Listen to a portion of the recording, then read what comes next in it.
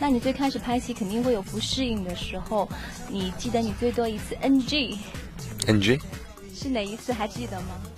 아니요, 제가 처음 카메라 앞에 섰을 때가 있었어요. 그때가 이제 이렇게 있다가 뒤를 딱 돌아보는 장면이었었는데 그 장면을 한 서른 몇 번 찍었던 것 같아요.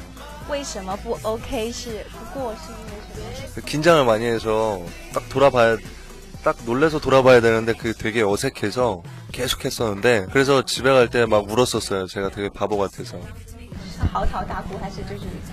많이 울었어요. 제가 너무 바보 같고 한심스러워서 제 자신이